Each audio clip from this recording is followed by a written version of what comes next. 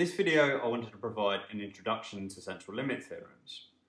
So in order to start thinking about this concept, we're first going to think about a sequence of random variables, so sort of x1, x2, through to xn. And then we're going to think about what happens if we take the sort of sample mean of those sort of n observations. So we have sort of 1 over n times sort of x1 plus x2 all the way through to xn. Well then we know from the weak law of large numbers that actually xn bar tends in probability to the sort of population mean mu, where the population mean mu refers to the mean of an individual xi. So we're assuming that each of the xi comes from the same distribution and it has a mean of mu. Furthermore, we know because convergence in probability is stronger than convergence in distribution, that convergence in probability actually implies convergence in distribution. So xn bar actually converges in distribution to that of a constant. But what does it actually mean to converge in distribution to a constant? Well, the idea is that if I had a population, and from that population I took a load of repeated samples, so I took a sample S1, another one S2, and sort of I continued that and took many samples all the way up to sort of SP. And then for each of those samples, if I then, for each of those samples, calculated a value of xn bar, so from the first sample I'd get xn bar 1, so the 1 here just means in the first sample. The second sample I'd get sort of xn bar 2, and then in the sort of pth sample I'd get xn bar p.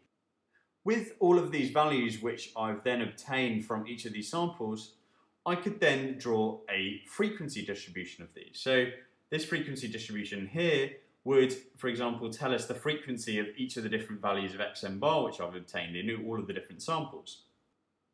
And for a moderately sized sample, our sort of frequency distribution might look something like that.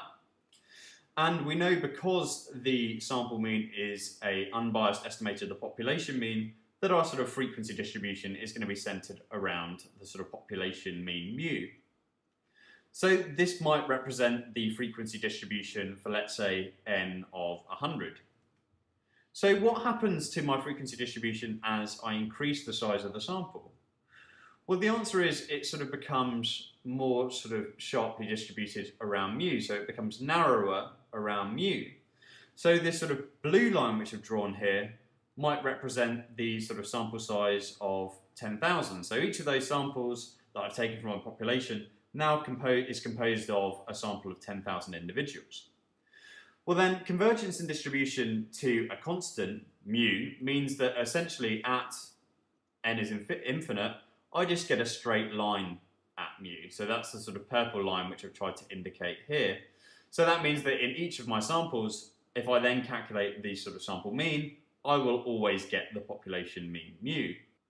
And in a sense, convergence in distribution to a constant essentially means that a variable has no real sampling distribution. It's just a straight line, so it doesn't really mean anything to talk about it as having a distribution.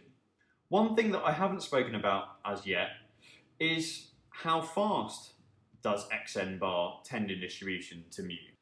Or diagrammatically, as I've drawn it, drawn it here, how fast does my sort of sampling distribution approach the sort of purple line at mu. So how, how fast does it converge to this sort of straight line at mu?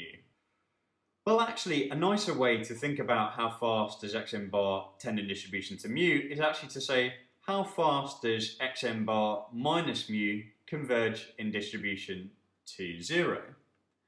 And it turns out that we can sort of illustrate this quite well graphically. If I draw a graph of the modulus of xn bar minus mu because xn bar can sort of be either above or below mu, and we're just sort of interested in how far it is away from mu, not whether it's sort of above or below mu. If we draw a graph of that against n, oh sorry, I should be using n in each of these sort of expressions here, then it turns out that it actually looks something like this, where the functional form of this graph in question is actually given by 1 over n to the power of half. So what does it actually mean to converge at a rate of 1 over n to the half? Well, it means that if I increase my sample size by a factor of 100, then the sort of deviations of xn bar from mu go down on average by a factor of 10, because 100 to the power of half is 10. So a question which you might be interested to sort of find out would be, what happens if I multiply my sort of xn bar minus mu by the sort of factor of n to the half? And the reason we might ask this question is because we know that xn bar minus mu converges in distribution to zero. We've just got that for this bottom relationship here. So as n gets really big, this thing in inside the parenthesis gets really, really small and it converges to zero. But this factor of n to the half here, as n gets bigger, n to the half goes to infinity. What happens to it in terms of what does it sort of what is its sort of limiting distribution? Well, it turns out that a particular central limit theorem, which we call the Lindeberg-Levy central limit theorem, which concerns xi which are IID, so that means that they are independent. So, so, the first I means that they're independent, and the sort of ID means that they are identically distributed. So that means that they all come from the same population process, or in other words, they all come from the same population.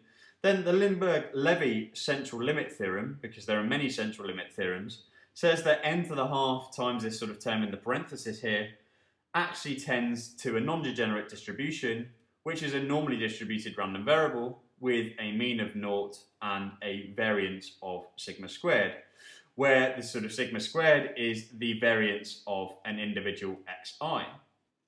And it's hard to stress how important central limit theorems are I haven't assumed anything about the distribution of these individual xi. So these individual xi could be, for example, sort of uniformly distributed on the range sort of 0, 1. So that might be the sort of CDF here.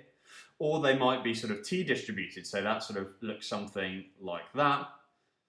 Then the central limit theorem, or the Lindeberg-Levy central limit theorem, says that if I pre-multiply this xn bar minus mu by this factor of n to the half, then as my sample size goes to infinity, then my sort of CDF of this sort of product term here actually is a given distribution and it's a normally distributed random variable with a mean of zero and a variance of sigma squared. And this is independent of the distribution of the individual x's. So the idea is that we could actually draw this CDF. We could draw the CDF for a normally distributed random variable with a mean of sort of naught and a variance of sigma squared. And it would look something like that, where I'm sort of centering it on naught. And the width of this distribution here is given by sigma squared. So this is, sorry, this isn't the CDF, this is the PDF of this particular random variable. And this is actually the PDF of the limiting distribution of this sort of composite term on the left here. So what are we actually doing? Well, you can kind of think about what we're doing in terms of magnification. Essentially what we're doing is we're saying, well, if we could magnify this sort of purple line which I've drawn up here, right? So if we could sort of magnify it sort of infinitely in this case, so by multiplying it by a factor of n to the half, essentially, then that means that we actually have a non-degenerate distribution, which is sort of given by this distribution which I've drawn here. So you can sort of think about central limit theorems as sort of magnifying the sort of deviations of x bar n from mu. Uh, and it's magnifying at a rate of n to the half. And I want to talk about a common misuse of the central limit theorem. Well, you might think the, the way in which the central limit theorem is written that it is okay to divide both sides by n to the half. So I'd actually get a normally distributed random variable with a variance of sigma squared over n. Uh, it's over n because the variance of a normally distributed variable, if you sort of times a normal random variable by a factor of a, where a is a constant, then the variance goes up by a factor of a squared. So that's why I've got a sort of a variance of 1 over n in this sort of bracket here, rather than a variance of sigma squared over n to the half. But it actually turns out that this is actually complete nonsense because we already know that this term in the parenthesis here is converging in distribution to zero. In other words, it doesn't have a distribution. So to say that it is normally distributed with a variance of sigma squared over n actually doesn't make any sense, even though we could sort of think about this sort of variance term here as going to zero as n goes to infinity.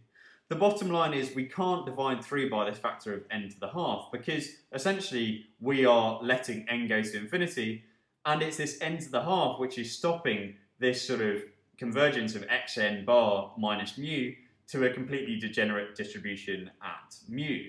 So we actually can't divide 3 by n to the half. However, we are able to divide 3 by a constant.